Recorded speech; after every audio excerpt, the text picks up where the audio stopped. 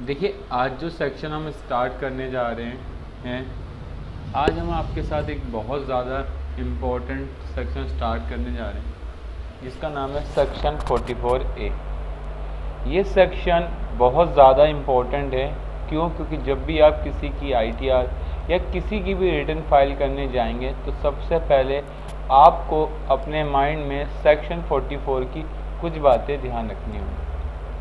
ये फ़ायदा गवर्नमेंट ने एसएससी को भी दिया है और साथ साथ खुद को भी बेनिफिट दिया है। तो चलिए, आइए अपने सेशन के बारे में हम डिस्कस करते हैं सेक्शन 44 इस सेक्शन की जब भी बात आएगी तो आप कहीं भी हो, चाहे आप एक अकाउंटेंट हो, चाहे एक आप सीए हो या कोई भी प्रोफेशनल्स में आप रहते हो तो आपको ये सेक्शन परेशान करेंगे। तो सेक्शन हम स्टार्ट कर रहे हैं section 44 double A section 44 A B section 44 A D the most important है सेक्शन 44 ए डी ए और सेक्शन 44 ए ई मैंने टॉप पर ही लिखा है मोस्ट इंपॉर्टेंट सेक्शन अगर आप मैं सेक्शन की डेफिनेशन बताऊँ तो सेक्शन 44 डबल ए बात करता है compulsory maintenance of books of account कि किस किस लोगों को बुक ऑफ़ अकाउंट मेंटेन करना ज़रूरी है। दूसरा बात करता है सेक्शन 44 ए बी जिसे बोलते हैं टैक्स ऑडिट जब भी तुम्हारे मन में टैक्स ऑडिट का मीनिंग है समझ जाना, बड़ी मछली की बात की जा रही है या बड़े व्यापारी की बात की जा रही है, जिसका टर्नओवर एक लिमिट से ऊपर होगा तो वो टैक्स ऑडिट के अंदर आ जाएगा। जब बात हो सेक्शन 44 ए डी की सेक्शन 44 ए की, या सेक्शन बात हो 44 ए की, जब आप इसकी बात करें तो आप उसे बोलेंगे डीम इनकम या पॉजिटिव इनकम डीम मतलब होता है गवर्नमेंट ने कहा कि ना तो तुम बुक ऑफ़ अकाउंट मेंटेन करो ना तुम टैक्स ऑडिट कराओ बस एक सर्टेन अमाउंट दे दो अपने टर्नओवर का और सेटिसाइड हो जाओ। हम आपसे नहीं पूछेंगे आपने कितना कमाया कितना खर्चा किया या क्या क्या चीज़ थी। हम आपकी वो इनकम मान लेंगे उसी के ब्याज से आपका टैक्स स्टेटमेंट हो जाएगा। तो उसे बोलते हैं हम प्रजेंटिव इनकम इस सेक्शन के अंदर हम और भी चीज़ें आपके साथ कवर करेंगे लेकिन हम इसके साथ साथ आज अपना एक सेक्शन स्टार्ट करते हैं सेक्शन 44 डबल तो यह बात आपको समझ आ गई होगी कि आज जो हमें क्लास में पढ़ना है, वो दो बातें पढ़नी है। सबसे पहले section 44 A compulsory maintenance of book of account किस किस को बुक मेंटेन करनी है। सेक्शन 44 ए बी जिसे टैक्स ऑडिट की बात करते हैं, और section 44 A D section 44 A D A और सेक्शन 44 ए जो बात करता है डीम इनकम या फिर प्रजेंटिव इनकम की बात करता है। आज हम जो सेक्शन आपके साथ डिस्कस कर रहे हैं, उसका नाम है सेक्शन 44 डबल मैं आपको पहले ही बता दूँ, ये चैप्टर आपको थोड़ा बहुत कंफ्यूज करेगा। अगर आप ध्यान से इस लेक्चर को करेंगे तो मे भी आपकी जो प्रॉब्लम है सॉल्व हो जाए। अदरवाइज़ आप जितनी आगे बढ़ेंगे, उतनी कन्फ्यूज़न आपको बढ़ती जाएगी सेक्शन में। क्यों? क्योंकि तीन चार सेक्शन से मिलकर बना हुआ सेक्शन है। ठीक है? तो सबसे पहले बात करते हैं सेक्शन 44 ए की। Compulsory maintenance of book of account सबसे पहली बात है कि पूछ रहा है कि बुक किस किस को मेंटेन करनी चाहिए। और मैं आपको बता दूँ, बुक मेंटेन करना एक बहुत अच्छी आदत है, जिससे आपको, आपके इनकम का पता होगा, आपको रेप्टर्स का पता होगा। लेकिन कुछ ऐसे सर्कमस्टेंसेज होते हैं कि जहाँ लोग बुक्स अकाउंट मेंटेन करना में थोड़ी सी डिफ़िकल्टी आती है। तो गवर्नमेंट ने उन लोगों को रियायत दी और कहा कि आप अगर बुक ऑफ़ अकाउंट मेंटेन नहीं करोगे, अगर कंडीशन आप पूरी कर दोगे तो। लेकिन यहाँ टॉप पर ही लिखा है compulsory maintenance of books of account कि इन इन लोगों को बुक्स अकाउंट मेंटेन करना ज़रूरी है सबसे पहले लीगल, कोई ऐसा काम करता हो लीगल से बिलोंग करता हो, जैसे एडवोकेट उसको बुक मेंटेन करनी चाहिए। Medical engineering architecture profession accountancy technical consultancy interior decoration और अदर नोटिफाइड पर्सन ये ऐसे गवर्नमेंट ने कुछ लोगों को नोटिफाई किया है कि जिनको अपनी बुक्स अकाउंट्स मेंटेन करना कंपलसरी है। ठीक है? कौन कौन लोग हैं वो पहला? लीगल दूसरा मेडिकल तीसरा इंजीनियरिंग चौथा आर्किटेक्ट प्रोफेशन पांचवा अकाउंटेंसी सिक्स आपका टेक्निकल कंसल्टेंसी और सिक्स सेवन आपका इंटीरियर डेकोरेशन डेकोरेशन और अदर नोटिफाई पर्सन जिसको फ्यूचर में गवर्नमेंट चाहे तो नोटिफाई कर सकते तो इन लोगों को अपनी बुक अकाउंट करना मैंडेटरी रहेगा। जिसमें आपका लिखा है document as per rule six F S may be enable the AO to compute his total income कह रहा है कि इस डॉक्यूमेंट के बिहार से जो ए एफ़ के अंदर बताए गए, उससे आपका एसेसिंग ऑफिसर होगा, वो आपके इनकम को कंप्यूट कर सकता है। अगर ये लोग बुक ऑफ़ अकाउंट मेंटेन करेंगे तो rule six F prescribe books accounts के अंदर बताएगा कि आपको कैश बुक बनानी है जनरल बुक बनानी है लेजर बनाना है, जिसमें आपकी carbon copy of bills not required if less than rupees पच्चीस रुपये का आपका बिल है तो आपको मेंटेन नहीं करना, ठीक है? और ओरिजिनल में कहता है specifically for the medical practitioner जो मेडिकल लाइन से बिलोंग करते हैं, उनको डेली बेस पर एक रजिस्टर बनाना हो डेली केस रजिस्टर्ड हो। कि कौन से केस आ रहे हैं, कौन से जा रही है। इन्वेंट्री ऑफ़ ड्रग्स सबसे तो किसकी इन्वेंट्री मेंटेन करेगा? कितना ड्रग्स आ रहा है कितना ड्रग्स जा रहा है। तो गवर्नमेंट ने कहा, आप कंपलसरी में आते हैं तो आपको कंपलसरी मैंने आपको दोबारा रिपीट करता हूँ, हमने सात लोग बताएँ जिसमें आपका लीगल है मेडिकल है इंजीनियर है आर्किटेक्चर है टेक्निकल कंसल्टेंसी इंटीरियर डेकोरेटर है, और अदर नोटिफाई पर्सन इन लोगों को कैश बुक जर्नल लेजर और कार्बन कॉपी लगानी। अगर बिल की वैल्यू पच्चीस रुपये से नीचे तो उसकी नीड नहीं। लेकिन अगर आप मेडिकल लाइन से बिलोंग करते हैं तो आपको कैश रजिस्टर और साथ साथ आपको इन्वेंट्री ऑफ़ ड्रग की मेंटेन करनी है कि कितनी इन्वेंट्री आ रही है कितनी इन्वेंट्री जा रही है। इसके बाद इम्पोर्टेंट नोट्स देयर अब book of accounts are required to be maintain if अब कब मेंटेन करनी है? ये तो पढ़ लिया इन लोगों को मेंटेन करनी है, लेकिन कब लिखा है? इस his gross received in all the three preceding financial year exceed one lakh fifty thousand अगर आपकी लास्ट तीनों सालों में, पहले साल डेढ़ लाख से ऊपर, दूसरे साल डेढ़ लाख से ऊपर और तीसरे साल डेढ़ लाख से ऊपर होती है तो उस केस में आपको ये बुक ऑफ़ अकाउंट मेंटेन करना कंपलसरी अगर मेरे पहले साल में एक लाख दस हज़ार दूसरे साल में ढाई लाख और तीसरे लाख में साढ़े चार लाख हो गई तब भी मुझे बुक्स ऑफ़ अकाउंट मेंटेन करने की ज़रूरत नहीं है गवर्नमेंट ने बोला all three preceding previous year इसकी बात की, हर तीनों साल में आपकी जो टोटल इनकम होगी या ग्रॉस रिसिप्ट होगी, वो एक लाख पचास हज़ार रुपये से ज़्यादा की होनी चाहिए। बात समझ आ गई? मैं एवरेज की बात नहीं कर रहा, मैं टोटल की बात नहीं कर रहा, मैं सेपरेटली ईयर की बात कर रहा हूँ। इफ़ द न्यू प्रोफेशन अगर आप क्या करते हैं, एक नया profession it setup in previous year then it is likely to be exceed of one lakh fifty thousand in the year कहता है कि अगर आपका बिज़नेस नया है, नया होने के साथ साथ अगर आपको लगता है कि आपकी growth rises one lakh fifty thousand से अबव होगी तो उस केस में आपको उस साल से बुक्स ऑफ़ अकाउंट मेंटेन करना स्टार्ट कर देना है। मान लो मैं एक अप्रैल 2019 को ये सोच एक अप्रैल 2019 को मैं आता हूँ और पूरे साल काम करता हूँ इकतीस तीन 2020 का। और इकतीस दिन को सोचता हूँ क्या मुझे बुक्स ऑफ़ अकाउंट मेंटेन करना कंपलसरी था। इकतीस तारीख को आता हूँ और ये सोचता हूँ कि मुझे बुक्स ऑफ़ अकाउंट मेंटेन करना कंपलसरी था। तो उस समय मुझे दाँत दिखाने का कोई फ़ायदा नहीं। गवर्नमेंट ने कहा, जब तुम एक अप्रैल को आओगे तो तुम्हें उसी समय डिसीज़न लेना है कि आपको बुक्स ऑफ़ अकाउंट मेंटेन करनी है या नहीं। अगर तुम उसके बाद इकतीस तारीख को आके करते हो तो आप ये मान लेना आपने लो का वायलेशन किया है तो आपके ऊपर पेनल्टी और जो भी अदर प्रोविज़न है वो चार्जेबल होने क्लियर मैंने यहाँ बताया तीनों साल में, सत्रह, अठारह अठारह, उन्नीस और उन्नीस, बीस। तो मेरा टर्न होगा, कितने सौ ऊपर होता है? ग्रोथ रिसिप्ट डेढ़ लाख रुपए से एवरी ईयर होती है तो मुझे बुक्स ऑफ़ अकाउंट मेंटेन करना कंपलसरी अदरवाइज़ मुझे कंपलसरी नहीं। अगर मेरा बिज़नेस स्टार्ट एक छः दो हज़ार बीस को हो रहा है तो उस केस में मुझे ये देखना है क्या उस साल मेरी इनकम उतनी हो पाएगी या नहीं।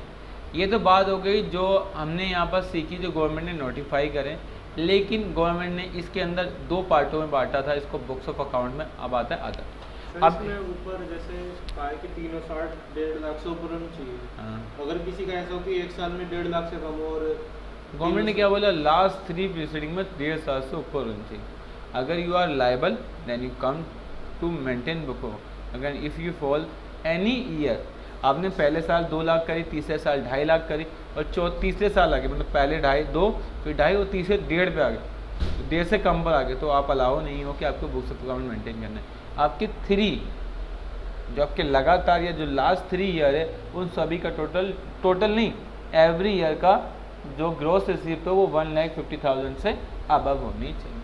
गवर्नमेंट ने कहा कि बुक्स ऑफ़ अकाउंट अब अदर की बात है। वहाँ तो गवर्नमेंट ने नोटिफाई कर रखे थे इन इन लोगों के लेकिन गवर्नमेंट ने बोला, अब उन लोगों की बात करें जो उससे अदर पर बिलोंग करते हैं। तो उससे अदर पर कौन आते हैं? अब other other maintenance of books of account by the other government ने बोला है कि अब अदर लोगों के लिए गवर्नमेंट ने बात करी। वहाँ तो प्रोफेशनल की बात कर ली, यहाँ अदर की बात करी कि किन किन लोगों को बुक्स ऑफ़ अकाउंट मेंटेन करना कंपलसरी है। लिखा है in the case of any assessee कोई भी एसएससी हो, चाहे वो इंडिविजुअल हो एच हो कैरिंग ऑन बिज़नेस और profession the books of accounts are required to be maintain in the following cases कह रहा है कि आप कोई से भी एसएससी हो, अगर आप बिज़नेस करते हो या फिर प्रोफेशनल करते हो तो आपको बुक्स ऑफ़ अकाउंट करना मेंटेन करना कंपलसरी है। लिखा है where the income from such business और profession is exceed rupees one lakh two lakh fifty thousand in any of the three preceding previous year कह रहा है कि अगर आपके लास्ट तीन साल में आपका जो रिसीव्ड या आपकी जो इनकम है, मैं बात कर रहा हूँ इनकम की, ढाई लाख से ऊपर होती है लास्ट थ्री ईयर की। इनकम कितने से ज़्यादा होती है? ढाई लाख से ऊपर होती है। In any of the three preceding previous year और is the likely to be exceed one lakh two lakh fifty thousand during the current previous year in case of newly setup business और profession कह रहा है कि दो बातें आपको ध्यान रखनी कि आपके अगर लास्ट थ्री ईयर का जो तीन साल हैं, उसमें अगर ढाई ढाई ढाई लाख से ऊपर है ऑल ईयर के अंदर तो आपको बुक्स ऑफ़ अकाउंट मेंटेन करना कंपलसरी है। और अगर आपका बिज़नेस नया है तो उस केस में अगर आपको लगता है कि आपकी इनकम ढाई लाख से ऊपर की हो जाएगी तो उस केस के अंदर आपको बुक्स ऑफ़ अकाउंट करना मेंटेन कंपलसरी गवर्नमेंट ने ये बात बोलने के बाद बोला इफ़ अगर ये कंडीशन आप पूरी नहीं करते तो फिर आप एक और कंडीशन चेक करो। इफ़ टर्नओवर और सेल इफ़ टर्नओवर और सेल हैज़ एक्सीड रुपीज़ पच्चीस lakh in any of three preceding year अगर आपके लास्ट थ्री ईयर में जो किसी भी साल आपका ढाई लाख, पच्चीस लाख से ऊपर होता है और is likely to be exceed rupees good morning पच्चीस lakh during the current previous in case of newly setup business पहले तो आपको देखनी कि आपके हर साल में जो आपकी इनकम है वो ढाई लाख से ऊपर होनी चाहिए। अगर आप ऐसा नहीं है कि आपकी इनकम ढाई लाख से ऊपर नहीं है तो आप ये चेक करो कि आपका लास्ट थ्री ईयर में जो टर्नओवर था, वो क्या किसी भी साल ढाई, पच्चीस लाख से ऊपर था। और अगर आपका बिज़नेस नया है तो आपको लगता है कि आपका टर्नओवर कितने ज़्यादा जा रहा है? पच्चीस है तो आपको बुक्स ऑफ़ अकाउंट मेंटेन करना कंपलसरी मेरी बात समझ आ गई? तो ये बात मैंने आपको बता दी। अब लिखा है वेयर ये बात कुछ और बात है। ये तो बात सिंपल हो गई कि हमें समझ में आ गया maintenance of books of account by the other पहला, वो लोग जिनकी income last three preceding financial में कितने से ऊपर हो? ढाई लाख से ऊपर हो। ढाई ढाई ढाई से ऊपर हो। तो सब बुक्स ऑफ़ अकाउंट मेंटेन करना कंपल्सरी दूसरा कहता है कि नहीं, अगर आपकी इनकम ढाई लाख से ऊपर नहीं है और अगर आपका टर्नओवर कितने से ज़्यादा है? पच्चीस लाख से ज़्यादा है तो उस केस के अंदर भी आपको बुक्स ऑफ़ अकाउंट करना मैंडेटरी है। इसके बाद जो बात आती है, वो नेक्स्ट प्रोविजनों की बात आती है, जो थर्ड एंड जो फोर्थ कंडीशन है, वो थोड़ी सी डिफरेंट है। क्या है? डिफरेंट देखो, पहले मैं यहीं समझा दूँ जो ऊपर एग्ज़ाम में बताया, कि अगर सत्रह अट्ठारह में आपकी इनकम ढाई लाख से ऊपर या फिर टर्नओवर ढाई लाख से, पच्चीस लाख से ऊपर है तो आपको बुक्स ऑफ़ अकाउंट मेंटेन करना कंपलसरी है। अगर आपकी अट्ठारह, उन्नीस में इनकम कितनी, पच्चीस लाख से ऊपर है, या फिर ढाई लाख से ऊपर या फिर पच्चीस लाख से ऊपर तो आपको बुक्स ऑफ़ अकाउंट मेंटेन करना। या किसी भी साल आपकी इनकम कितने से ऊपर होती है, ढाई लाख या फिर पच्चीस टर्नओवर पच्चीस लाख से तो आपको बुक्स ऑफ़ अकाउंट मेंटेन करना कंपलसरी लेकिन जो थर्ड और फोर्थ पॉइंट बात करता है वो थोड़ी डिफरेंट बात करता है। अगर आपको समझ आए तो ठीक है नहीं तो मैं ये कवर कर, सारे सेशन कवर कराने के बाद इस पर दोबारा आऊँगा और आपको इस बात को दोबारा बताऊँगा।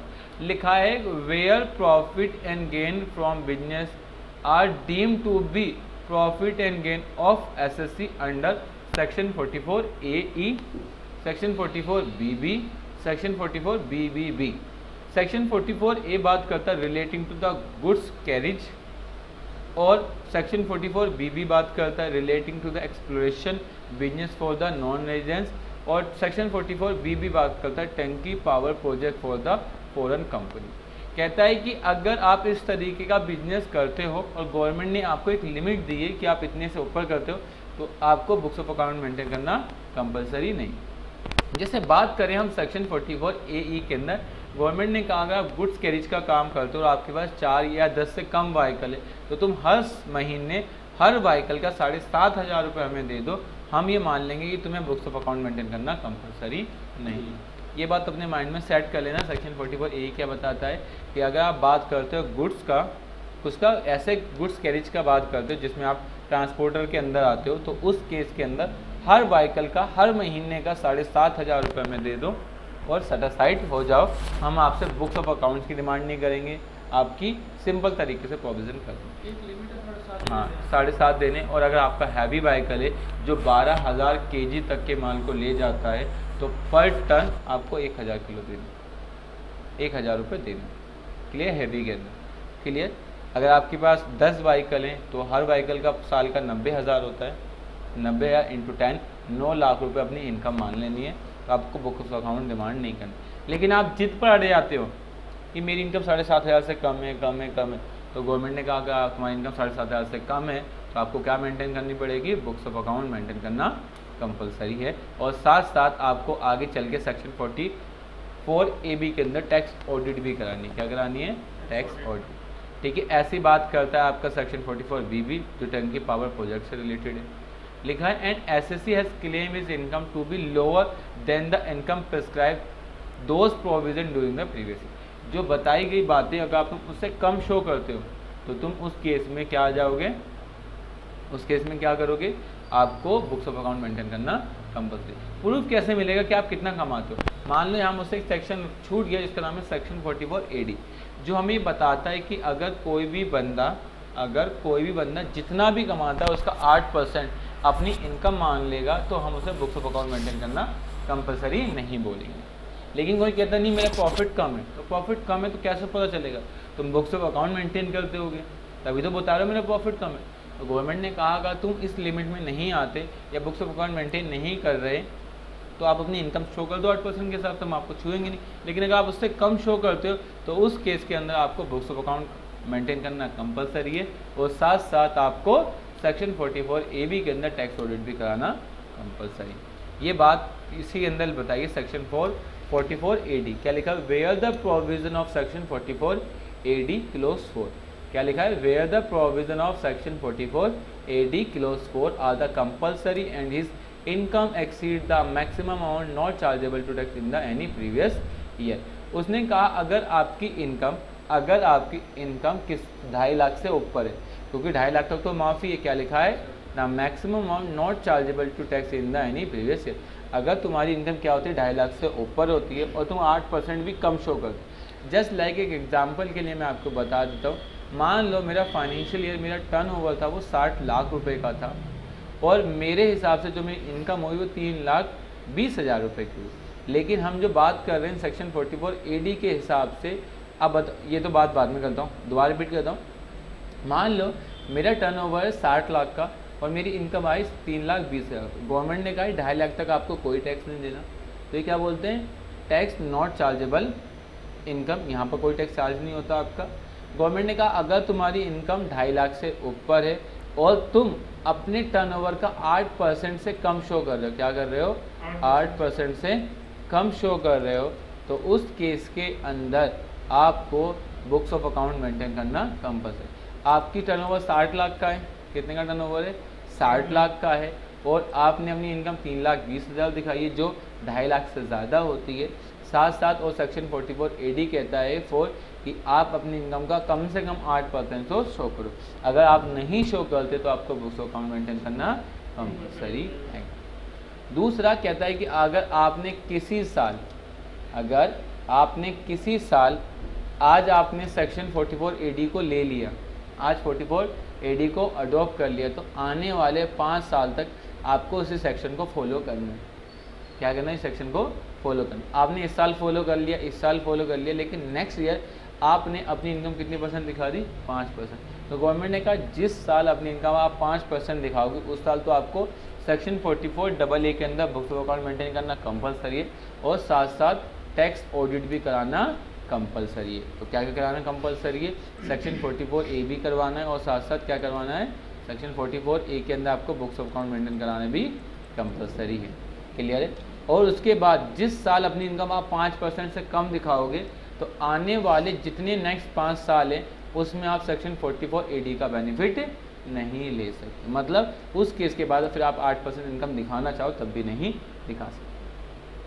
सर, मैं अगर बारह परसेंट इनकम दिखाना चाहूँ तो गवर्नमेंट ने कोई नहीं मिनिमम आठ है, अगर ज़्यादा दिखाने जाओ तो हम आपको मना नहीं करेंगे। तो मेरी बात समझ आ गई वाली कि अगर आप जिस साल आठ साल, आठ परसेंट से ऊपर दिखाते हो तो आपको बुक्स ऑफ़ अकाउंट मेंटेन करना कंपलसरी है। जिस तरह आप आठ परसेंट से कम दिखाते हो तो आपको बुक्स ऑफ़ अकाउंट मेंटेन करना कंपलसरी है और साथ साथ आपको सेक्शन फोर्टी में ए बी के अंदर भी टैक्स ऑडिट कराना कंपलसरी और जिस साल आप पाँच आठ परसेंट से कम शो करोगे तो उसके बाद जो नेक्स्ट पाँच साल आएँगे उसके अंदर सेक्शन फोर्टी फोर एडी का बेनिफिट नहीं ले सकते। अगर सर उनकी क्या है पाँच परसेंट है जैसे तो, हाँ, और ढाई लाख से ऊपर जा रही है हाँ तो फिर आपको टैक्स ऑडिट भी करानी पड़ेगी और बुक्स ऑफ़ अकाउंट मेंटेन भी करना पड़ेगा। लिखा है नोट्स के अंदर note as per the section 44 A D clause fall जो मैं अभी बढ़ाऊँगा आपको where in in eligible assessee वो क्या होना चाहिए? एक एलिजिबल एस एस सी होने चाहिए. Declare profit for any period in according with the provision of this section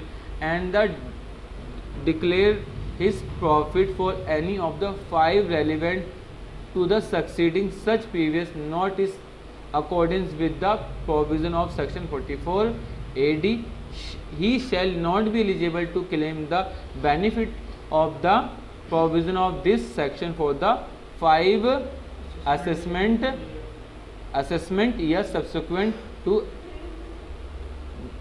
yes upper second floor assessment या relating to the previous in which the profit has not been declare any according with the provision of section 44 four A D उसने simple से ये बात कही कि अगर तुम जिस साल इस सेक्शन को अप्लाई करते हो, अपनी इनकम आठ परसेंट शो करते हो तो आने वाले पाँच सालों तक आपको यही प्रोविज़न फॉलो करना है। लेकिन जिस साल आप इस प्रोविज़न को ब्रेक करते हो, उस साल के जो नेक्स्ट सब्सिक्वेंट आएँगे पाँच साल, आप सेक्शन 44 एडी का बेनिफिट नहीं ले सकते। क्लियर है? तो मैंने आज आपको जो सेक्शन पढ़ाया, वो सेक्शन का नाम था सेक्शन 44 ए जिसका नाम था compulsory maintain of books of accounts जिसमें हमने इसको दो पार्ट में बांटा लीगल को अलग करा और अदर को अलग करा। लीगल में आपका मैंने नाम क्या क्या बताया, बताएँगे साथ साथ medical engineering architecture profession accountancy technical consultancy interior decorator और अदर नोटिफाई पर्सन अगर आप इस कैटेगरी के अंदर ब्लॉक करते हो तो आपको कैश बुक बनानी पड़ेगी जर्नल बनानी पड़ेंगे और लीजर साथ साथ आपको carbon copy of bills not required if less than R S twenty five अगर वैल्यू पच्चीस रुपये से कम है तो मेंटेन नहीं करना. और स्पेशली अगर आप मेडिकल प्रैक्टिशनर्स हो तो डेली केस रजिस्टर बनाने की कौन कौन से केस आ रहे हैं? साथ साथ आपको इन्वेंट्री ऑफ़ ड्रग की मेंटेन कर रही है कि इन्वेंट्री कितनी ड्रग्स की आ रही है, कितनी जा रही है। यहाँ लिखा था अब books of accounts are required to be maintain if अगर आपका टर्नओवर कितने से ज़्यादा हो जाए, आपकी ग्रोथ सिर्फ़ डेढ़ लाख रुपए से ज़्यादा हो जाए हर ईयर के अंदर तो आपको बुक्स ऑफ़ अकाउंट मेंटेन करना कंपलसरी है। दूसरा, अगर आपका बिज़नेस नया है तो उस केस के अंदर भी आपको ये सोचना है कि अगर मेरा टर्नओवर डेढ़ करोड़ मेरी ग्रोथ सिर्फ़ डेढ़ करोड़ से ज़्यादा डेढ़ लाख से ज़्यादा जाएगी तो उस केस के अंदर उस केस में आपका अकाउंट्स मेंटेन करना कंपलसरी लेकिन आप जिस साल आओगे तो उस साल एक अप्रैल को ही आपको डिसीज़न लेना है कि मुझे बुक्स ऑफ़ अकाउंट मेंटेन करना है या नहीं। आप इकतीस तारीख को आकर सोचो कि आप मुझे बुक्स ऑफ़ अकाउंट मेंटेन करना कंपलसरी नहीं। गवर्नमेंट ने कहा, आपको एक अप्रैल को ही डिसीज़न लेना है कि आपको बुक्स ऑफ़ अकाउंट मेंटेन करना है या नहीं करना और मैंने बात करी तीनों सालों की। मैंने किसी इंडिविजुअल की बात नहीं करी। मैंने बोला, हर सालों में, अगर किस साल आपका टर्नओवर डेढ़ लाख से नीचे होगा तो आपको बुक्स ऑफ़ अकाउंट मेंटेन करना कंपलसरी है आपका तीनों सालों में टर्नओवर डेढ़ करोड़ से ऊपर होना चाहिए। डेढ़ लाख से ऊपर होना चाहिए सॉरी डेढ़ लाख से ऊपर होना चाहिए। अब आता है section 44 A A books of account लिखा other maintenance of books of account by other person के लिए गवर्नमेंट बोला है।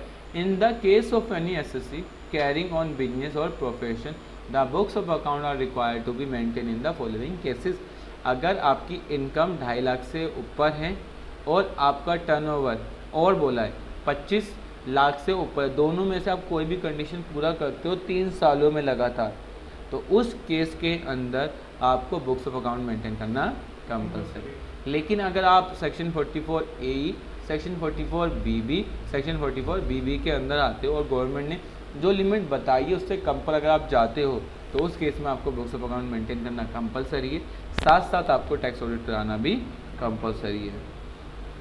सेक्शन 44 एडी की बात करता है अगर आपने किसी साल इस प्रोविज़न को अडोप्ट करा तो आने वाले पाँच सालों तक आपको इसी प्रोविज़न को फॉलो करना है।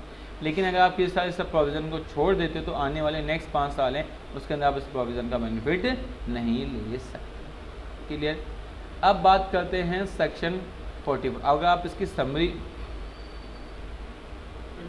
अगर मैं बात करूँ सेक्शन 44 की समरी बताऊँ तो मैंने आपको यही बताया कि बुक्स ऑफ़ अकाउंट में अदर के लिए पहला तो आपकी इनकम ढाई लाख से ऊपर होनी चाहिए, दूसरा आपका टर्नओवर 25 लाख से ऊपर होना चाहिए और तीसरा अगर आप सेक्शन 44 एडी को अडॉप्ट नहीं करते, या सेक्शन 44 एडी को ए ई को अडॉप्ट नहीं करते, या सेक्शन 44 एडी ए को अडॉप्ट नहीं करते, या सेक्शन 44 बीबी को अडॉप्ट नहीं करते, या सेक्शन 44 बीबी को अडॉप्ट नहीं करते तो आपको बुक्स ऑफ़ अकाउंट मेंटेन करना कंपलसरी है। सेक्शन 40 एडी बात करता है स्मॉल बिज़नेस की, जो हर तरह के बिज़नेस आते हैं। सेक्शन 44 ए की बात करता है गुड्स कैरिज जो अप टू टेन ट्रक तक है। सेक्शन 44 एडी की बात करता है, जो प्रोफेशनल जो नोटिफाई करें, उसके अलावा कोई प्रोफेशनल है।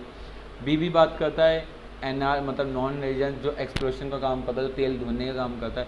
और बी भी जो बात करता है, टंकी पावर प्रोजेक्ट कोई ऐसी कंपनी होती है, जो आपके पास आती है और आपका पूरा बिज़नेस रेडी करके जाते हैं कि आप सुल दबाओ आपका बिज़नेस स्टार्ट हो जाए। तो बोलते हैं टंकी पावर प्रोजेक्ट तो अगर आप इस तरीके के हो, अगर आप उनके लो को फॉलो नहीं करते तो आपको बुक्स ऑफ़ अकाउंट मेंटेन करना कंपलसरी और इसी के लिए मैंने यहाँ पर एक पूरी कंडीशन आपको शो कर देखिए books of account certain profession के केस में थ्री ईयर में ऑल में क्या होना चाहिए? आपकी इनकम डेढ़ करोड़ से, डेढ़ लाख रुपए से ग्रोस से सिर्फ़ अधिक होनी चाहिए। दूसरा अदर केस में लगातार तीन सालों में पहली आपकी इनकम क्या होनी चाहिए? प्लस होनी चाहिए। दूसरा, आपकी टर्नओवर 25 लाख से क्या होना चाहिए? सेल या टर्नओवर अधिक होना चाहिए। Section 44 AD section 44 AE section 44 BB section 44 BBB lower income as prescribe या specify in provision of the section 44 AD section 44 AE section 44 BB और सेक्शन 44 बीबीबी अगर लोअर दिखाओगे तभी तो आओगे। अगर हायर दिखाओ तो यहाँ आने की ज़रूरत क्या है? आपको समझ आ गया सेक्शन 44 ए की क्या बात करता है? इसके बाद जो आपका सेक्शन आता है, वो सेक्शन आता है 44 ए हमेशा बात आती है टैक्स ऑडिट कि किन किन लोगों को अपनी टैक्स ऑडिट कराना कंपलसरी हमेशा आपने सुना होगा टैक्स ऑडिट करानी होती है टैक्स कब करानी होती है? कब करानी होती है? क्या लिमिट है? क्या कंडीशन है? तो गवर्नमेंट ने कहा कि अगर कोई बंदा फाइनेंशियल ईयर किसी भी फाइनेंशियल मान लो सपोज़ 90 ट्वेंटी में काम करता है, जिसका असेसमेंट ईयर 90 ट्वेंटी और उसके बिज़नेस से उसको 100 लाख रुपए का टर्नओवर होता है। 100 lakh I mean to say one crore. कितना टर्नओवर होता है? एक करोड़ रुपए से ज़्यादा का टर्नओवर होता है तो उस केस में उसे टैक्स ऑडिट कराना कंपलसरी है। अगर प्रोफेशन है, क्या है अगर उसका? प्रोफेशन है, जैसे वो चार्टर्ड अकाउंटेंट है, जैसे एडवोकेट है, जैसे कोई टेक्निकल कंसल्टेंसी है तो अगर उसकी इनकम 50 लाख रुपए से ज़्यादा होती है तो उस केस के अंदर आपको टैक्स ऑडिट कराना कंपलसरी है। लेकिन अगर आपका टर्नओवर एक करोड़ से कम भी है, तब भी आपको टैक्स ऑडिट कराना कंपलसरी हो जाएगा। अगर आप section 44 AD section 44 AE section 44 BB section 44 BB जो प्रेजेंटिव इनकम है उससे कम दिखाते हो तो आपको टैक्स ऑडिट कराना कंपलसरी जैसे गवर्नमेंट ने तुम्हें बोला आठ परसेंट तुम्हें मेंटेन करना है तुम उससे कम करो तुम्हारी टर्न ओवर पचास लाख है तो उस केस में आपको टैक्स ऑडिट कराना कंपलसरी है। क्योंकि गवर्नमेंट कैसे मान लेगी कि तुम्हारी आठ परसेंट इनकम है या दस परसेंट या दो परसेंट या तीन परसेंट इनकम है तो गवर्नमेंट ने कहा, तुम बुक्स ऑफ़ अकाउंट मेंटेन करो मतलब साथ साथ तुम सेक्शन फोर्टी फोर ए को फॉलो करो और साथ साथ तुम section forty four A B को फॉलो करो। अगर आप फॉलो करोगे तो आपको टैक्स ऑडिट कराना कंपलसरी ये बात समझ आ गई। आपका टर्न ओवर डेढ़, सौ लाख से ऊपर है तो आपको टैक्स ऑडिट कराना ही कराना है। लेकिन अगर आपकी टर्न प्रोफेशन के केस है तो पचास लाख से ऊपर तो आपको कराना कराना है। लेकिन अगर तुम section 44 AD section 44 AE section 44 BB section 44 BBB के अंदर आते हो और उसके अंदर आप लिमिट कम शो करते हो तो गवर्नमेंट ने कहा कि इनकम आपकी जो बताएगी उससे शो करते हो तो आपको टैक्स ऑडिट साथ साथ बुक्स ऑफ़ अकाउंट मेंटेन करना कंपलसरी है। क्लियर आइए आगे। लेकिन सर हमने तो पढ़ा है कि प्रेजेंटिव इनकम सेक्शन 44 एडी के अंदर अगर मेरी इनकम 200 लाख तक है कितनी है? दो सौ लाख। दो सौ लाख तक। अगर चलो, आगे पढ़ लेंगे, अभी आने वाला है। Where a person carries on a business as per section 44 A D and the claim that अगर कोई पर्सन जो किसके अंदर आता है? सेक्शन 44 ए डी के अंदर आता है।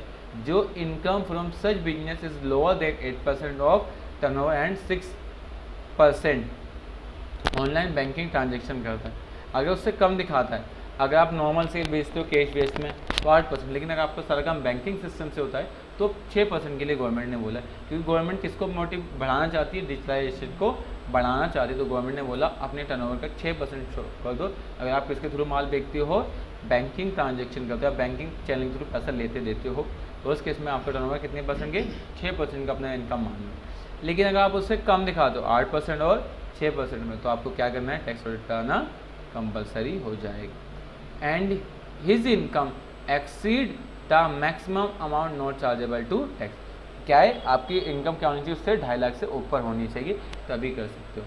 जैसे एग्ज़ाम्पल के अंदर, मेरी टर्न ओवर साठ लाख है। मेरी ग्रॉस इनकम कितनी होगी? तीन लाख। मेरे हिसाब से तीन लाख इनकम है। लेकिन तीन लाख आठ परसेंट निकालो तो कितना आता है? चार लाख अस्सी हज़ार। कितना आता है?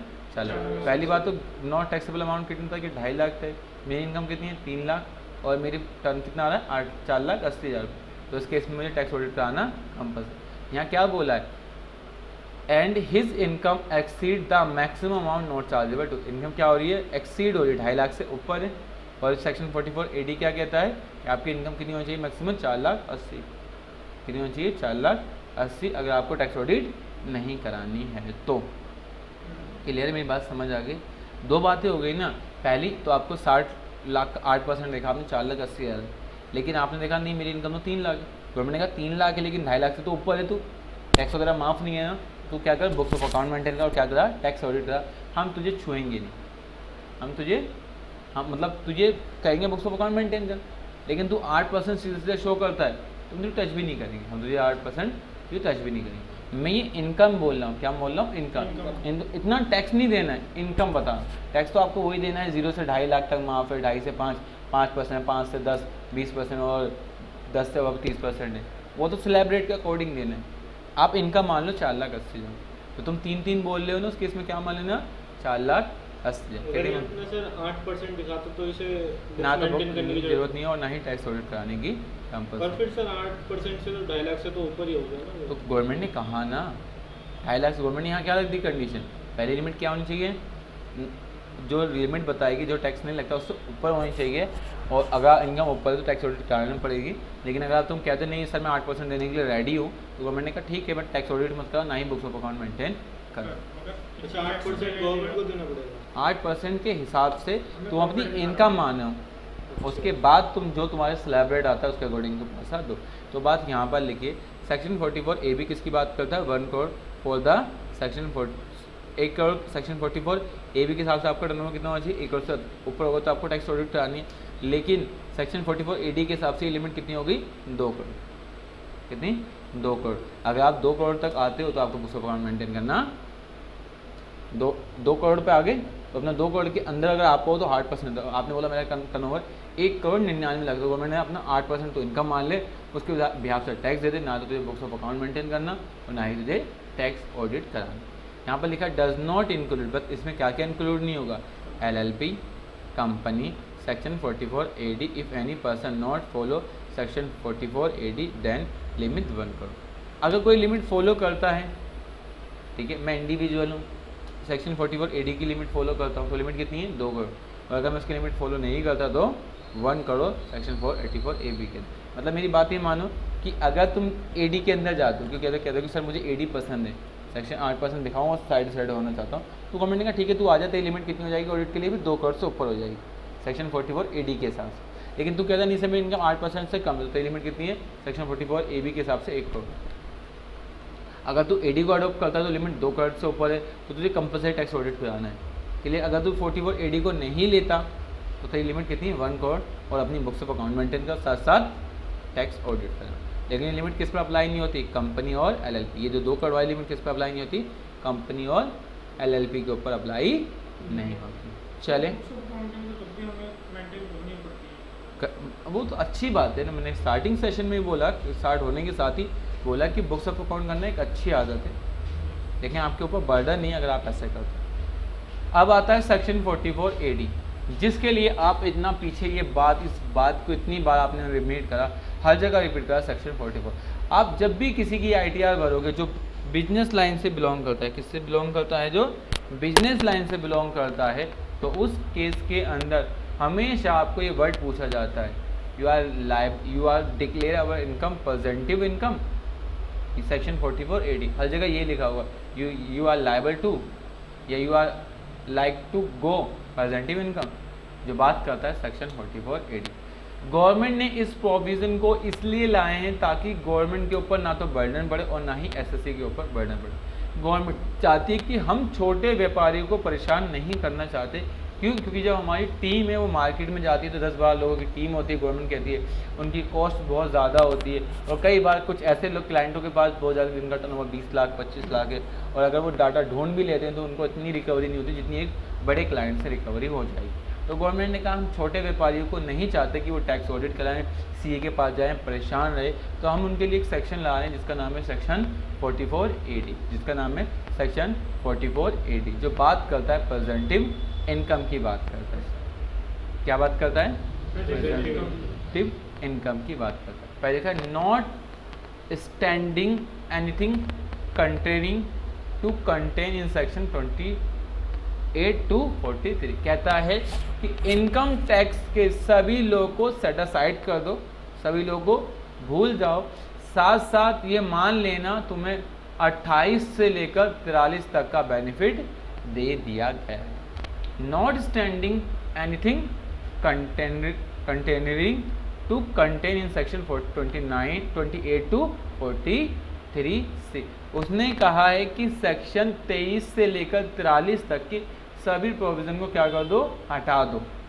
क्या कर दो? प्रोविज़न को हटा दो। अगर कौन सी स्कीम लेते हो? सेक्शन 44 एडी लेते हो तो आप सेक्शन 28 से लेकर 43 के जितने प्रोविज़न थे, सबको भूल जाओ। क्लियर इसके बाद ये तो पहली कंडीशन है कि आप अपने माइंड में ये बात सोच लोगे कि अगर मैं सेक्शन 44 एडी को अडोप्ट करता हूँ तो सेक्शन 28 से लेकर सेक्शन 43 सी तक जो भी होंगे या जो भी डिडक्शन मिलती होगी, वो हम नहीं ले सकते। पहली बात तो ये। क्लियर ना हम डेप्रिशिएशन अलाउ कर सकते और ना ही कुछ चीज़ का बेनिफिट हम लोग ले सकते। दूसरा, ये बेनिफिट किस किस को मिलेगा? In case of any eligible S सबको नहीं मिलेगा। किसको मिलेगा? एलिजिबल एसएससी को मिलेगा। जो किसके अंदर इंगेज हैं? जो एलिजिबल बिज़नेस के अंदर इंगेज और जो अपने टर्नओवर का कितना परसेंट शो कर दें?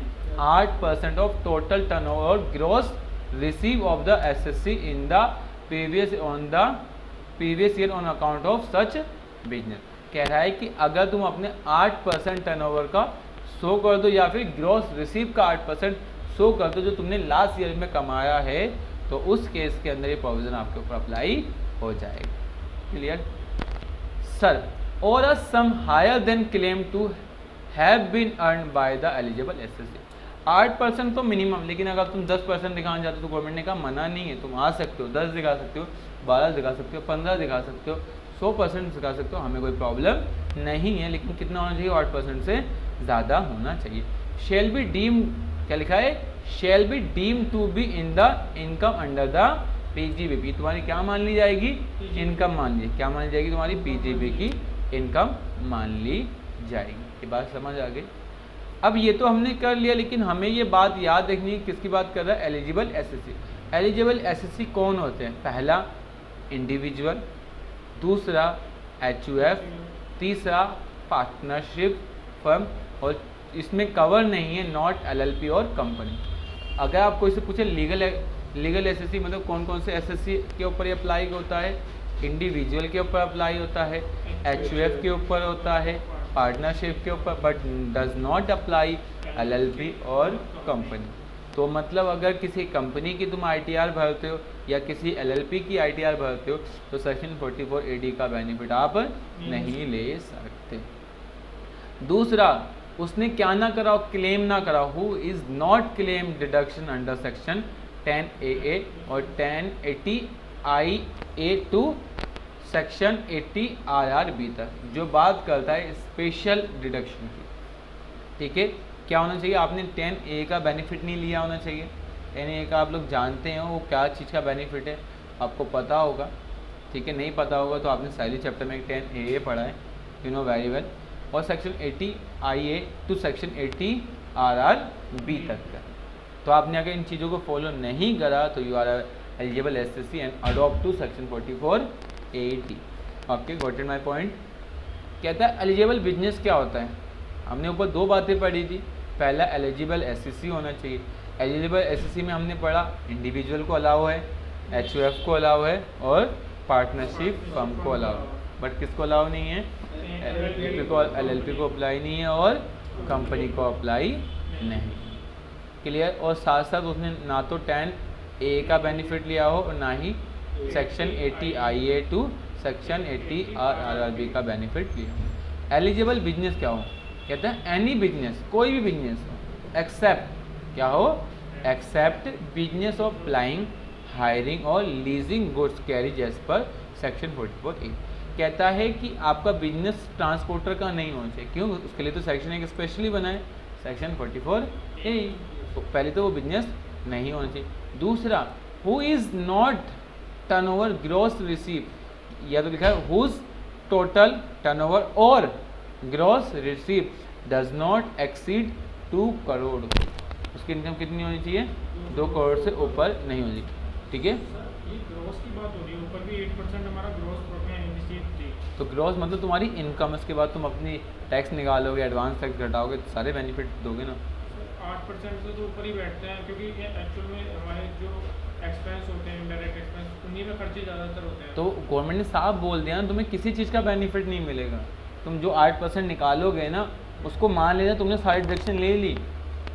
तुमने सारे खर्चे घटा दिए। तो हमेशा प्रॉफिट कैसे कैलकुलेट करते हो? रेवेन्यू माइनस एक्सपेंस तो करते हो। रेवेन्यू के अंदर आपकी इनकम आ जाती है, जितना आपने कमाया, चाहे कमीशन से या कैसे भी। वो तुम्हारी इनकम हो जाती है, उसके अंदर तुम सारे खर्चे घटाते हो office rent accounting charge stationery charge printing charge G late fees other expense सारा आ जाता है ना। गवर्नमेंट ने कहा, भाई, हमने तुझे स्टार्टिंग में तो बोल दिया कि तूने इसका मतलब सेक्शन 28 से लेकर चालीस के सारे प्रोविज़न फॉलो करें और हम तुझे उसके अलावा कोई और बेनिफिट नहीं देंगे। मतलब ये मान लिया तुम निकाले हो, तुम्हारा नेट आ गया। मतलब सेक्शन 28 से लेकर सेक्शन फोर्टी का बेनिफिट आप नहीं ले सकते और किसी और का बेनिफिट ले सकते हो। क्या ले सकते हो? किसी और का बेनिफिट ले सकते हो। बट 28 से तिरालीस तक का बेनिफिट नहीं ले सकते। क्लियर लेकिन यहाँ लिखा है हुज टर्नओवर क्या लिखा है? हुज टोटल टर्नओवर और gross receive does not exit two crore दो करोड़ से ज़्यादा नहीं अगर दो करोड़ से ज़्यादा होगी तो आप टैक्स ऑडिट के अंदर चले जाओगे, तभी आपको सेक्शन नहीं मिलेगा। लेकिन लिखा है this section does not apply ये सेक्शन किस किस पर अप्लाई नहीं होता? आप person carrying on profession as per section 44 A जो किसके अंदर आते हैं? जो ए के अंदर आते हैं। और ए के अंदर मैंने आपको बताए थे वो आठ नौ नाम। आपको याद है सबको? Medical engineering architectural technique accountancy और इंटीरियर डेकोरेटर और as per notify the government जो गवर्नमेंट नोटिफाई करें। और a person engage income in the nature of commission on brokerage अगर आप कोई किसका काम करते हो कमीशन का काम करते हो ब्रोकरेज का काम करते हो, तभी एग्ज़ाम के ऊपर अप्लाई नहीं होगा। Person carrying on any agency business कोई किसका करती है एजेंसी बिज़नेस करती है तो उसके ऊपर भी अप्लाई नहीं हो कंसिक्वेंसेस क्या कहता है? Consequences all deduction under section thirty two thirty eight including depreciation shall be deem to have been allowed इसका मतलब अगर आप तुम सेक्शन में आते हो तो ये मान लेना कि तुम्हें किसका बेनिफिट मिल गया है? सेक्शन 30 से लेकर अड़तीस तक का सारा बेनिफिट मिल गया। उसके अंदर ये भी मान लोगे कि आपको डेप्रिशिएशन भी मिल गया है। Return down value of assets use for the purpose of such business shall be calculate as if the depreciation have been actually allowed तुम वैसे ही कैलकुलेट करोगे जैसे एक नॉर्मल बिज़नेस के अंदर आपको करना होता है। बट तुम ये मान लोगे, तुम्हें उसका बेनिफिट मिल गया क्लियर है? गवर्नमेंट ने इसलिए करा कि वो किसी के ऊपर हार्डशिप नहीं डालना चाहती तो गवर्नमेंट ने सिंपल से प्रोविज़न निकाल दिया। बात समझ आ गई मेरी? क्लियर है? आज से कुछ साल पहले अगर कोई सेक्शन 44 एडी के अंदर आता था तो उसको एडवांस टैक्स नहीं भरना होता। आप सभी को पता है कि हम सभी को अगर हमारी इनकम दस हज़ार रुपये से ज़्यादा है टैक्सेबल इनकम जिसमें हमारा टैक्स दस हज़ार रुपये से ज़्यादा है तो हमें एडवांस टैक्स भरना चाहिए। और एडवांस टैक्स साल में चार बार भरा जाता है। पहला पंद्रह जून को दूसरा पंद्रह जून को फिर दूसरा पंद्रह सितंबर को तीसरा पंद्रह दिसंबर को और चौथा पंद्रह मार्च को।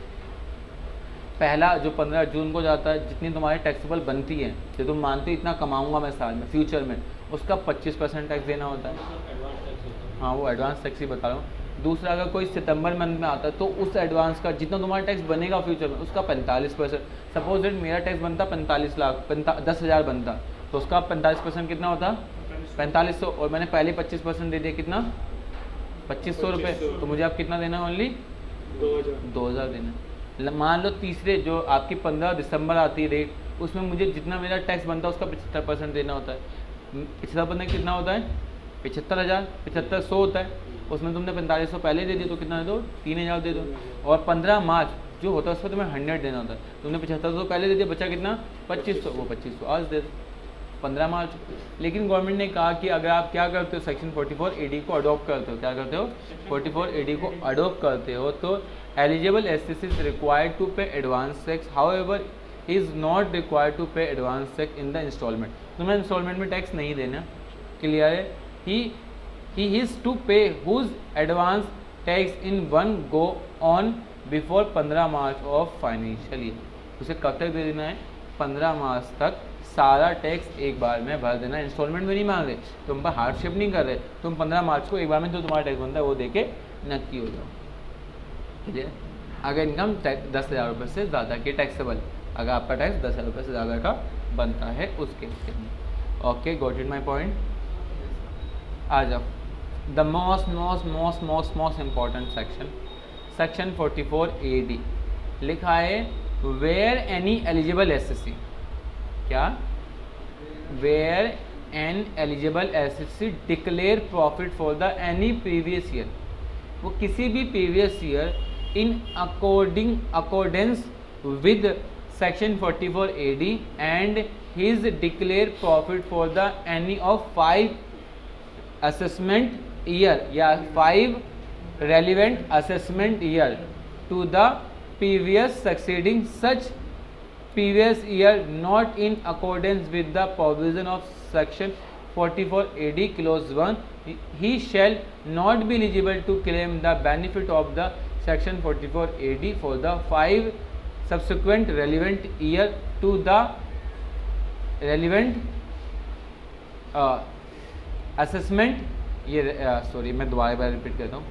वेयर देखो, अगर कहो तो सिंपल सा बता देता हूँ। वो जो बात मैंने आपको उधर बताई थी, वही बात है कि अगर तुमने किसी साल सेक्शन 44 एडी का बेनिफिट ले लिया, अगर तुमने किसी साल सेक्शन 44 एडी का बेनिफिट ले लिया तो आने वाले पाँच सालों तक, आने वाले पाँच सालों तक आपको इसी सेक्शन के अंदर रहना है। लेकिन अगर तुम किसी साल इस सेक्शन को फॉलो नहीं करते तुम किसी साल इस सेक्शन को फॉलो नहीं करते तो उस केस के अंदर आने वाले जो नेक्स्ट सब्सिक्वेंट ईयर होंगे, उसके अंदर आप इसका बेनिफिट नहीं ले सकते, इसका बेनिफिट नहीं ले सकते। जैसे 19-20 में मैंने सेक्शन 44 एडी को अडॉप्ट कर लिया नाइन ट्वेंटी ट्वेंटी वन में भी मैंने सेक्शन 48 40 एडी को फॉलो कर लिया, लेकिन सेक्शन 21 और 22 के अंदर मैंने सेक्शन को फॉलो नहीं करा।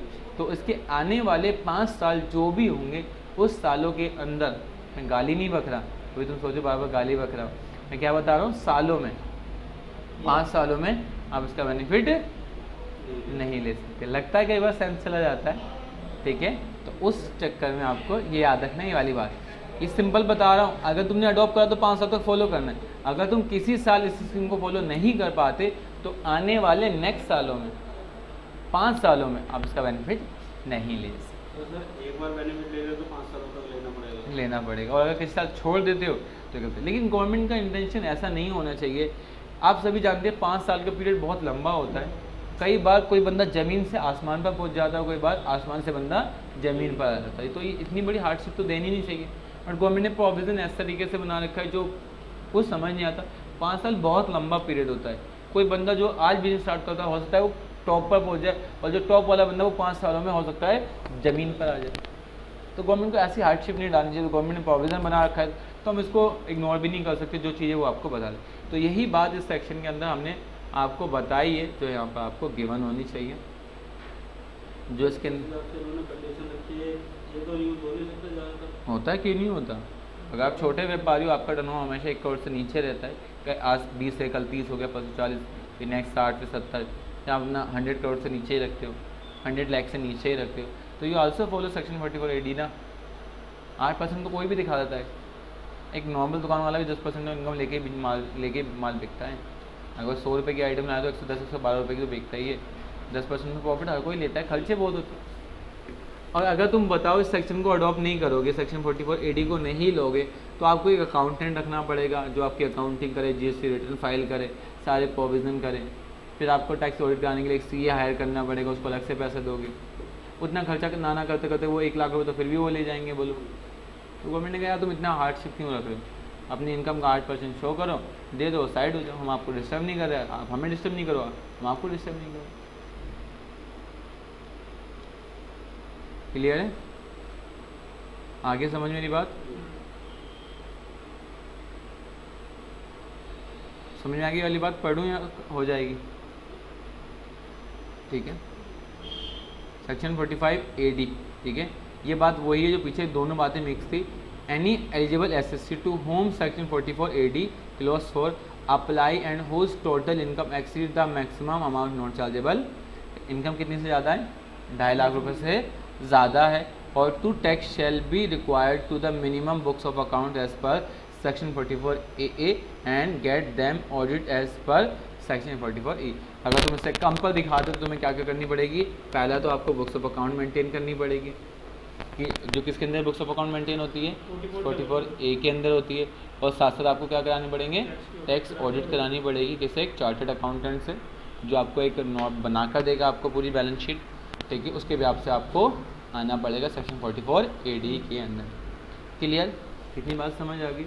अब जो सेक्शन आपका स्टार्ट होता है, वो सेक्शन है आपका ट्रांसपोर्ट ऑपरेशन बिज़नेस आप जानते हो ट्रांसपोर्ट क्या होता है? जो गुड्स कैरेज करता है, माल ले जाना, लाने का काम करता है। अगर आप कोई ऐसा बिज़नेस करते हो, क्या करते हो? अगर आप कोई ऐसा बिज़नेस करते हो और किस सेक्शन को आप अडोप्ट करते हो? सेक्शन 44 ई को अडोप्ट करते हो तो गवर्नमेंट ने सिंपल सा बोला goods carriage at any time during the year the income shall be deemed to be seven thousand five hundred per vehicle for every month और पार्ट ऑफ़ द मंथ ठीक है? Complete month और part of the अगर आपने कहा कि sir मैं पाँच अप्रैल को लाया तो पूरे साल की बात होगी ठीक है पार्ट ऑफ़ द मंथ की बात कर रहे हैं। ठीक है ड्यूरिंग मंथ और part of the month during which such goods vehicle is own by the S S C in previous year और such higher sum as declare in the return of income by the S S C साढ़े सात सौ तुम्हारी मर्ज़ी government ने बोला साढ़े सात सौ, लेकिन तुम ज़्यादा देना चाहते हो। आठ हज़ार, नौ हज़ार, दस तो गवर्नमेंट ने कहा, मुझे कोई दिक्कत नहीं भाई। साढ़े सात तो मैंने मिनिमम बोली लेकिन तुम आठ नौ दस देना चाहते हो तो तुम्हारी इच्छा है आप दे सकते हो हम आपको मना नहीं करेंगे। बेनिफिट तो कुछ नहीं ना। गवर्नमेंट ने कहा ईमानदार हो। तो गवर्नमेंट क्या मान लेगी? ईमानदार बस। और ईमानदार का प्रूफ आपको आईटीआर रिटर्न में मिल जाएगा। आपको आईटीआर का सर्टिफिकेट मिल जाएगा वही ठीक है? तो गवर्नमेंट बस ये मान लेगी तुम ईमानदार हो। लेकिन कौन दिखाता है? हर कोई साढ़े सात ही दिखाएगा। क्लियर इतनी बात समझ आ गई। आप किसका काम करते हो? ट्रांसपोर्ट के अंदर काम करते हो तो आपको अपनी हर व्हीकल का कितने परसेंट शो करना है? साढ़े सात परसेंट लेकिन कंडीशन ये कि आपके व्हीकल दस व्हीकल से कम होने चाहिए last during the previous year अगर आपके लास्ट इकतीस मार्च तक किसी भी समय दस से नीचे वाइकल थे, तब ये कंडीशन अप्लाई लेकिन जिस भी साल आपके व्हीकल दस से ऊपर हो गए, या जिस भी ड्यूरिंग द एनी टाइम आपके मान लो एक जुलाई को, आपका एक जुलाई को जो आपका टर्न वो, वो था ना व्हीकल वो दस व्हीकल थे।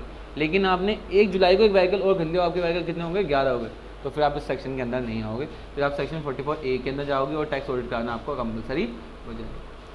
लिखा any S S C who is the profession of the goods carriage whatever taken on hire purchase चाहे आपने क्या करा हो उसको हायर परचेज पे लिया हो या फिर उसकी पेमेंट इंस्टॉलमेंट पे की हो ठीक है? हायर परचेज और on instalment and for which the whole और part of the amount payable in still due shall be deemed to be the owner of the such goods और कैरिज क्या कह रहा है? या तो आप किस पे लाए हो? हायर परचेज पे लाए हो या फिर किस पे लाए हो? इंस्टॉलमेंट पे। तो आप उसके क्या माने जाते हो? मालिक माने जाते हो। तो जिस दिन से तुम उसको लेकर आए, उस दिन के दिन से ही आपकी वो मानी जाएगी। क्या है वो आपका गुड्स है और उस पर आपको साढ़े सात परसेंट देना है। आपका गुड्स चले या ना चले गवर्नमेंट को से मतलब नहीं आप दिन में दस बार चलाओ या साल में दो बार चलाओ। गवर्नमेंट ने कहा हम तो साढ़े सात हज़ार रुपये के साढ़े सात हज़ार रुपये के हिसाब से टैक्स चार्ज कर देंगे। हैं? हाँ हायर परचेज वही है रेंट पे लेना। ठीक है या फिर इंस्टॉलमेंट में लेना किस्तों पर ले लेना। ठीक है? क्लियर है? समझ में आ गया? कंसिक्वेंसेज वही है। All deduction under section thirty to thirty eight including depreciation shall be deemed to be have been allowed आप ये मान लो कि तीस से अड़तीस तक का आपको बेनिफिट मिल गया, और सस्तर आप जैसे नॉर्मल डेप्रिशिएशन क्लेम करते हैं, वैसे करेंगे, लेकिन वो उसके अंदर कंसिडर नहीं होगा आपकी टोटल इनकम के अंदर, ठीक है? बात समझ आ गई? इसके बाद written down value of asset use for the purpose of such business shall be calculate as if the depreciation has been actually allowed जैसे आप नॉर्मल कैलकुलेशन करते हो नॉर्मल केस के अंदर वैसे आपको इस केस के अंदर भी करना है। क्लियर है? For the purpose of section 44 A A अगर आप इस स्कीम को अडॉप्ट नहीं करते अगर आप नहीं करते for the purpose of section 44 A A and section 44 A B the gross receive of the income from the business business कौन सा था? ए ई होगा यहाँ पर business business covered by section 44 A E shall be exceed क्या करता है? Exclude दुआ पता for the purpose of section 44 A B and section 44 A section 44 AA and section 44 AB the gross receipt or the income from the business covered by section 44 AE shall be exclude. अगर आप अपनी इनकम साढ़े सात हज़ार से कम दिखाना चाहते हो तो उस केस के अंदर आपको कहाँ चले जाना है? सेक्शन 44 ए के अंदर आ जाना है और सेक्शन 44 ए बी के अंदर क्या कराना है? टैक्स ऑडिट करा लेना है। यहाँ लिखा है the S S is required to get tax audit क्या लिखा है? The assessee is required to get tax audit if his claim that the profit and gain of the, of their business are lower than the prescribed rate. अगर आप क्या करते हो, उससे कम देते हो तो आपको क्या करना है? सेक्शन 44 ए के अंदर जाना है। Compulsory books of account maintain करनी है। और साथ साथ सेक्शन 44 ए बी को भी फॉलो करना है। फाइव कहता है the income compute under section 44 A E are subject to the direction of the partner remuneration under section 44 B ये किसके अंदर भी कवर होती है बात? ये आपने सेक्शन 44 40 बी पढ़ा था, जिसमें हमने पार्टनर की रिमोनेशन के बारे में बताया था, जिसमें मैंने आपको इंटरेस्ट अलग कराया था और अदर रिमोनेशन अलग कराया था। जिसमें बताया था कि इंटरेस्ट मैक्सिमम आप कितने परसेंट तक अलाउ कर सकते हो? 12 परसेंट तक अलाउ कर सकते हो। ओनली किसको मिलेगा? नॉन वर्किंग और वर्किंग पार्टनर को मिलेगा। रिमोनेशन किसको मिलेगा? वर्किंग पार्टनर को मिलेगा और बुक प्रॉफिट के हिसाब से कैलकुलेट करना बताया था। इसमें कहा कि आप ये भी मान लोगे कि आपने उसका बेनिफिट भी आपने दे दिया। क्या? एम्प्लॉयर को दे दिया। तो in the income compute under section 44 A E are subject to the deduction of the partner remuneration under section 44 A B. 44 small B. तो आप ये मान लोगे कि आपने उसका बेनिफिट भी दे दिया।